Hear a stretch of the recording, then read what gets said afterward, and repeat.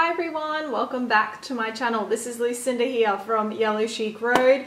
So happy to have you back if you're a subscriber, but if you're not, please make sure you click the button to subscribe and make sure you turn on the notifications with that bell.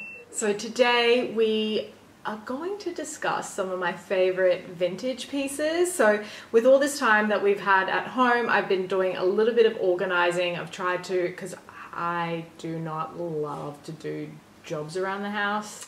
It's not normally where I put my time, but I have been enjoying organizing things a little bit lately. And I've sort of stumbled across some pieces that I had purchased from, you know, over 10 years ago and things that I've just really loved.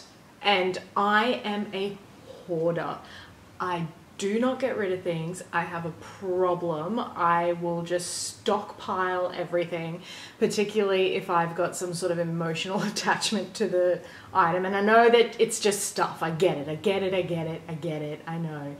But I love these pieces still and I just wanted to share them with you. And I've sort of, my rule for what I am going to show you was if they were 10 years or older is what I'm sort of classifying as vintage. And I will take you through um, like bags and scarves, the small leather goods and ready to wear. So some clothing that I also have kept onto even though it don't fit. So guys, let's jump right in. I also just wanted to know that one of my first ever videos here on YouTube was featuring some of my vintage Louis Vuitton bags. So I really don't want it to be like a rehash of that, but I am including some Louis Vuitton pieces that I just adore. So I had to include, but I will link that original video down below just in case you want to check that out as well. First little cutie, first little cab off the rank. The Louis Vuitton Denim Pleaty well, this is called the Mini Pleaty. I bought this from the store here, well, my local store, back, way back when, I think it was like 2007. And they are still hammering out some denim pieces, particularly in clothing, um, Louis Vuitton. So I think this is still very much a relevant piece. It's got what they called a koala clasp. So you can sort of see it looks like a little koala nose there. Um, and my first, this is my second one because the first one that I purchased, it had a faulty clasp. The gold was chipping, so it was um, nicely replaced by Louis Vuitton shortly after I had bought it and it just slides up and you've got this really gorgeous sort of mustard microfiber lining and it's just really cute and it fits what you need and it's such a vibe right now. Um, again, something I would never get rid of. So this is a piece I actually picked up pre-loved last year or the, no, it must have been last year. And it is the pochette accessoire with the Murakami panda on it. So I was just so, so, so in love with this piece um, and missed out on it when it was first released because I was a little bit too young for this guy and I just love, love the panda and his little panda butt on the back. It's just such a cute little piece and it's just a bit of fun. I'm really careful when I wear it. I don't want to wear anything abrasive because we all know that this silk uh, screen printing tends to wear or can easily um, sort of chip away. So I'm very cautious with that. But one thing that I have had enjoyment from doing is attaching like a longer métis strap to this and just wearing it crossbody and it's a little bit of fun. So this needs no introduction because it is just so OG Louis Vuitton circa 2003 multicolor Alma bag and I actually bought this one as well pre-loved because again was not something that was able to be purchased by myself at the time um, and I managed to score it in such amazing condition and the patina overall is really even and the actual canvas looks amazing and the shape looks amazing and it's just so beautiful. It is such a happy bag. And for anybody who is interested in the multicolor, I really do recommend getting a piece if you can find a good because they the prices are kind of crazy on these as well, even in the pre-love market. But if you can get a good deal on a piece and it sort of makes your heart sing, I say go for it because they are so much fun. Um, and hopefully, I know there's a lot of people trying to push um, for Louis Vuitton to revisit the multicolor monogram or in some sort of aspect. So hopefully that's a thing that can come down the pipe because it would be so welcomed by the LV fan community. Um, but yeah, I just thought I would leave this little guy as my um, final Louis Vuitton bag in this little video. But um, as I said, there's plenty more in my other video, which I referenced earlier. So next up is this super, super, super duper cute Fendi bag. Oh my gosh.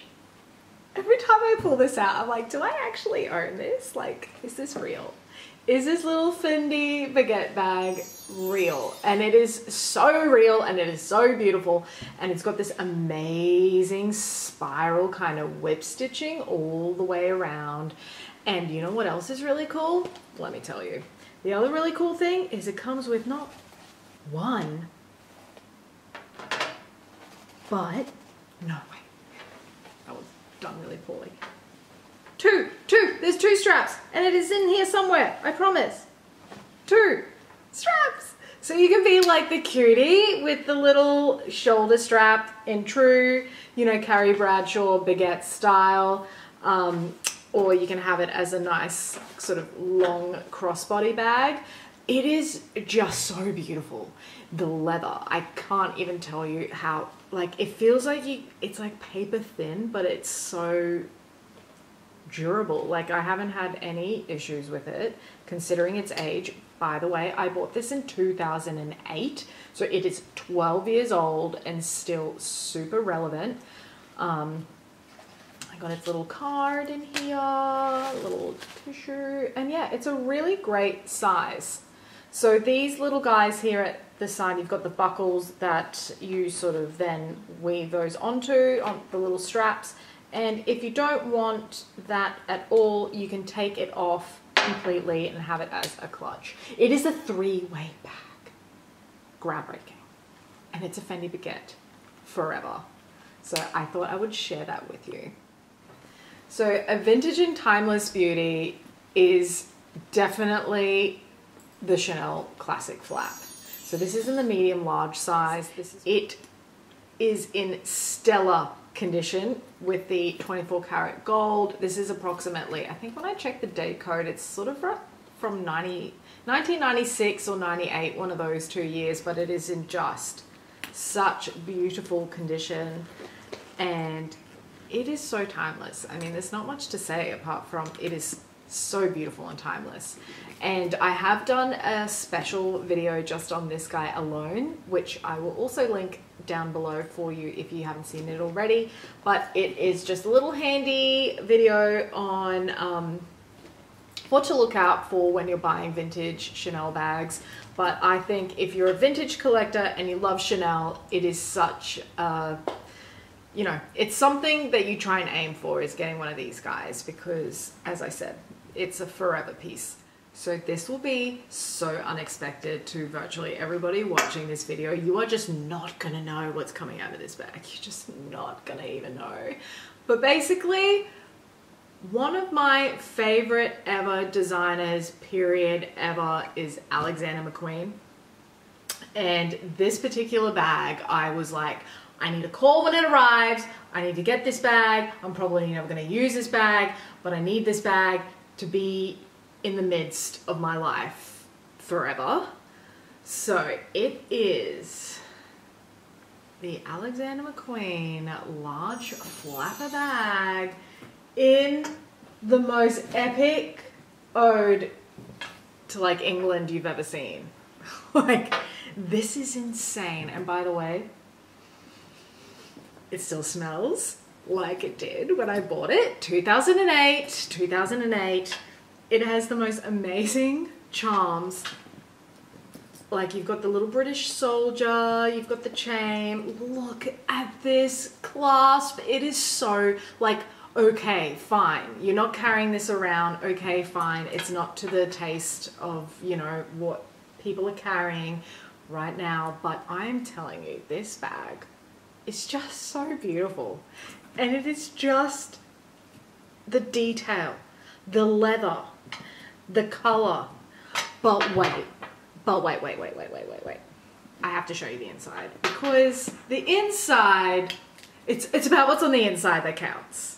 And for this bag, it's definitely about what's on the inside that counts. So let me just get my little aeroplane zipper and zipper open.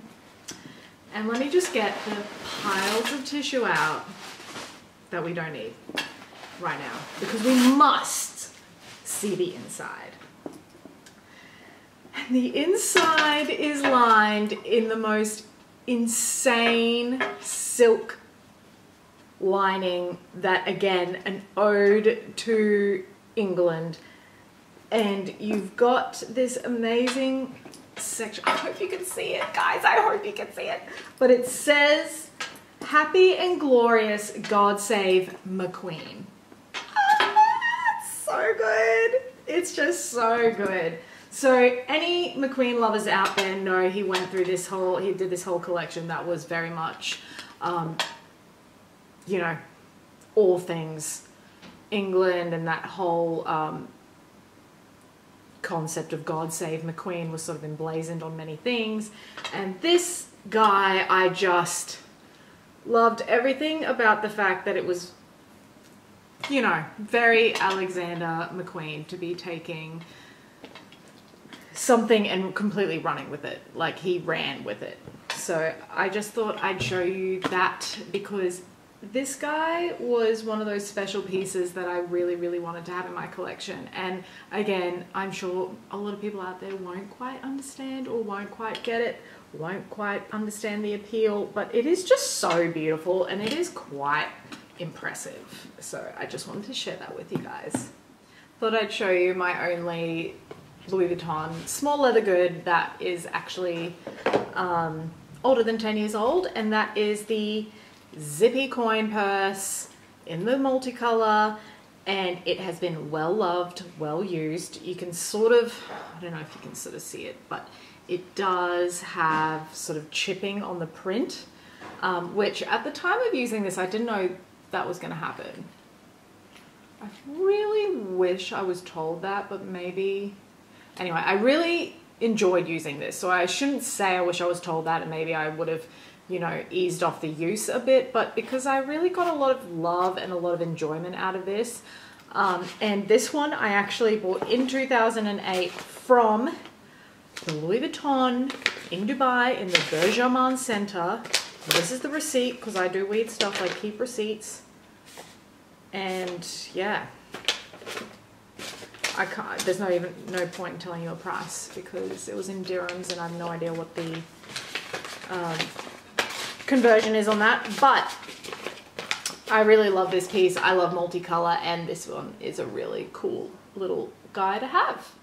So moving on to some vintage scarves because back in, when I was really getting into Alexander McQueen, he of course had his very, very, very popular skull emblazoned silk scarves. So I have a few of these in my collection in terms of different um, not just different colors, but sort of different iterations on the skull scarf. And as in keeping with that um, British kind of theme of the bag that I showed you, this has all the skulls sort of draped in this, in I guess in the flag, and it's got the God Save McQueen all around the edging, and it is just a really beautiful silk. So I thought I would show you some of those because again, they're things that I've loved for over a decade and I will never get rid of them. And just on the topic of vintage scarves, I've got two from Louis Vuitton and these were recently acquired, by the way, because anybody that watches my videos know I love bandeaus and I love Louis Vuitton scarves. So I had the opportunity of buying this from a local um, sort of designer consignment store um, here in my city and it's called Designer Archives. They do have a great Instagram and a website for those that wanted to check them out, but they sometimes get these like killer pieces. And this is the Cherry Murakami Louis Vuitton scarf. And, and, and, and, this is just so, so sick. I have to show you guys. So I was lucky with both of these that they came in sort of the original packaging. I bought these at separate times, but both from Designer Archives. This one still had the receipt. I paid more than this person paid because that's what happens. That's what happens when things become popular again. And it is the Murakami flower scarf with all the smileys and this is in a cotton and it is just joy. I mean, how do you not look at that and smile? Like it's so good. And I was really quick to snap this up as soon as they put it on their Instagram. I messaged them and I'm like, I need that. I'll get that. See you in an hour. So that's how that went down. And it was just a very good, very quick and very lucky little pickup because it was 475 back in 2010 and I think I paid like 600 and something or 700 but yeah it was in perfect unworn condition so it's a bit of fun. So I also wanted to share with you I've got two pairs of vintage shoes that I wanted to share with you because I think there's just either a nice story or there's something a little bit cool. So these are a pair of Dior shoes that I picked up. I would like to say, oh, receipt.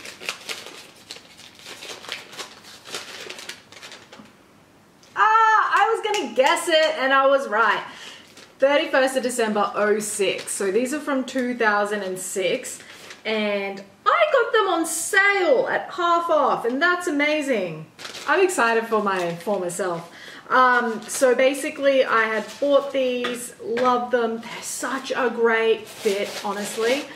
And it's the Dior Oblique Pump in the brown mix. And these are seriously, if they had these on the shelf right now, I think they'd probably walk out the door because they are just the nicest fit on the foot and they're just super cute and what's not to love about a bit of Dior Oblique.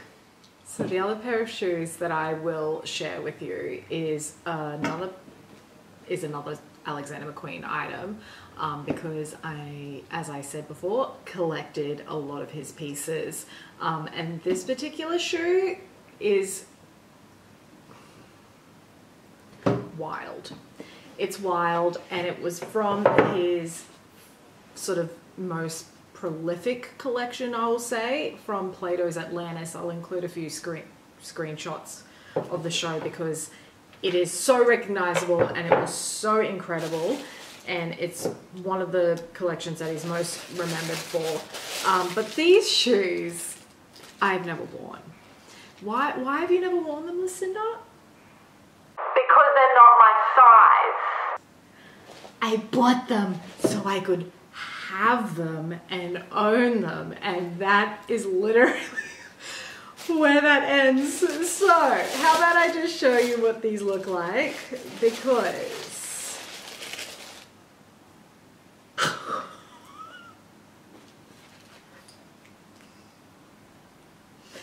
These are the Titanic ballerina pumps from Alexander McQueen.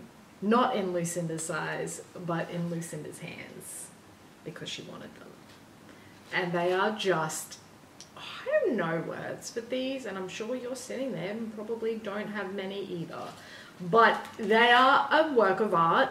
They were featured on the runway in a slightly different leather iteration to really go with the show. These are literally an art piece. You could just use them as a bookshelf, like bookends. I don't know. The point is, hi, I'm Lucinda and I collect things. And this is one of my most proudest purchases because it is so special to those that get it. So not to completely bore you with a bunch of clothing, but I just thought I'd share with you some of my favorite pieces that I've ever purchased that were higher end luxury in the ready to wear field.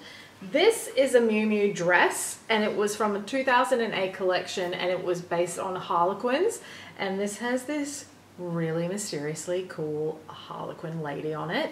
Um, again, I'm not fitting into this. I'm never going to fit into this again because this is 12 years ago and that is fine by me but I just love it I love the colors and just look at that printed silk it is just so beautiful and I think this collection was very special to Miu Miu. So 2008 was a very special year for me for some reason. There was just so many collections that I just absolutely adored and really loved and really spoke to me. And this particular piece I was so dedicated to finding. And I actually found it overseas when I was away. And it is the Prada iconic, iconic fairy skirt and it's got the um, James Jean artistry all over it. He's a brilliant artist, and he's collaborated with he's collaborated with Prada a few times now. But this was, I believe, their first time collaborating back in 2008. I'll include a runway shot of this skirt um, just so you can see it because it was something they even featured in the Met Museum when they had conversations. I think it was a conversations with Prada and Schiaparelli. I'll have to double check on that. But it is a beautiful piece and a very much something that I just genuinely am so excited to have this forever in my wardrobe. So last but definitely not least, the most important piece of ready to wear in my collection, I would say. Um, it was just something I had to buy there was no question. I had to do it because it was very, very important and symbolic. And that is the Balmain Spring Summer 09 military jacket in the denim. Now, this piece I have spoken about before in a former video. It meant so much to me because not only is it just, I mean, so beautiful, but basically this collection was inspired by, influenced by Michael Jackson and his military jackets. And I was like, I need this jacket. I need to be walking around in this jacket. And Michael Jackson, leading up to his death, was wearing a lot of Balmain, and a, because they were really influenced by him, so they really wanted him wearing some pieces. So I just really, after he passed away, thought I need to get myself one of those jackets I just need to do it and I'm going to be out of pocket for a lot of monies but it just meant I don't know you know when there's certain things that in your life you want to do and want to have that slice want to have that you know it means something to you this meant something to me and it is just I think one of the most impressive jackets I've ever seen and the buttons the binding the color of the denim is so great, but it, just thought I'd share that with you because this is one of my favorite, favorite, favorite vintage pieces ever. So everyone, I thought that would just be a really fun little show and tell video. We've got lots of time on our hands, so I've been sort of going through my pieces, just trying to organize things, and I just fell in love with a lot of these things all over again. And for those that know me well, know I'm somewhat of a fashion collector and I really do get attracted to things that mean something to me. It's not just about hyped pieces, it's not just about everybody wants it, so I want it too. It's things that just, and that I think that shows in some of these pieces. They're things that really speak to me and I love them and I get enjoyment out of it and this is what life is about. I know a lot of people probably look at it and think, oh, it's just stuff and you're a hoarder and it's just things. And you know they don't really have any intrinsic value. But if something adds joy to your life then it does have value. And I'm telling you this girl was rocking around in that Balmain jacket at work. I would wear it to work and I didn't care that I had these shoulders out to here. I just loved it and I loved wearing it. And that is what life is about just enjoying what you can and getting out of it what you can. So, hope you liked this video. Please like and subscribe, and I look forward to seeing you in my next one. Thanks so much.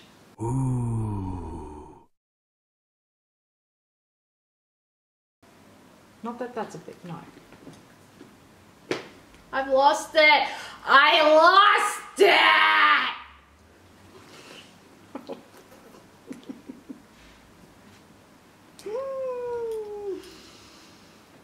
this guy is really just a treasure. It no.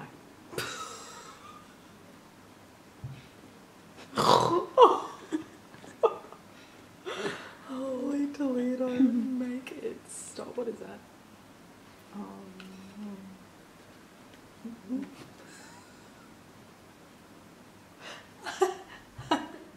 I invented the friggin' nervous laugh. Why are you My, nervous? eyes, my eyes have gone all. Mm. I can't stop talking when I look like I'm crying. compose, compose yourself.